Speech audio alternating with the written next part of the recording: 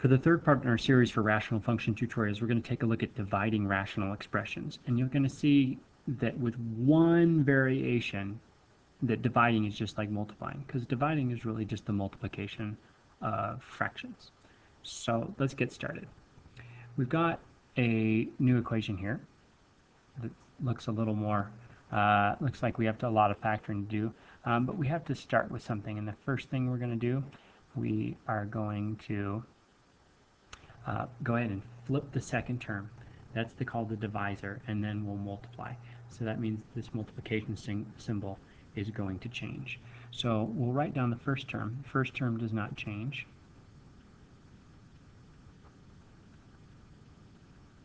Okay. And that's over the same denominator.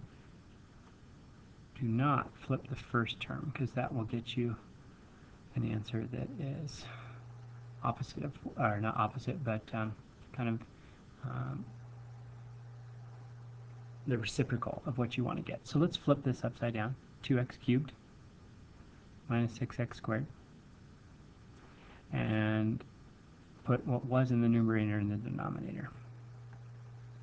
Okay, now we just have multiplication. So uh, I'm going to pause the video. You should pause the video now just to see if you could spend some time factoring this, and then I'll go over it in a second.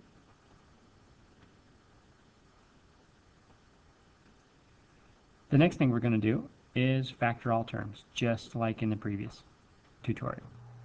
And to do this, uh, we'll look at each term.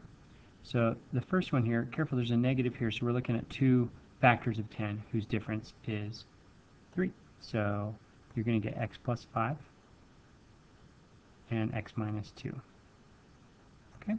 And we're going to put that all over the factors of this second trinomial. Okay?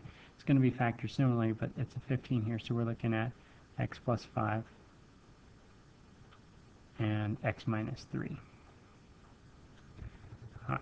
So now we're going to multiply that by the factors of this quotient. So in the top there's two terms, but there's lots of common junk we can turn out. There's at least a 2 in each one, and there's also at least an x squared. And what that's going to leave, in the first term it leaves an x. In the second term it leaves a negative 3. So we factored this upper term. Now, check your work if you paused earlier and did this. The last thing we have to do, pull out a 4, and that leaves x minus 2.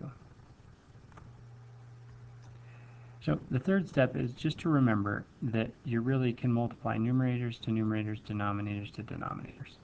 Since that's the case, I'm going to go ahead and just take pen here and just say, you know what, we could have written these across all the way as 1. There we go. 1 big quotient multiplying tops and bottoms. And let's cancel like terms. x plus 5's cancel. This x minus 2 cancels with 1 way over here. And this x minus 3 and this x minus 3. So we've got a lot of things canceling. So let's go ahead and write uh, what's left. We have 2x squared over 4. Okay. The last thing we might see is this is actually 1 half, so that cancels out. And our final answer is x squared, okay, over 2. So the last thing that we were doing here that I haven't uncovered is that we're simplifying.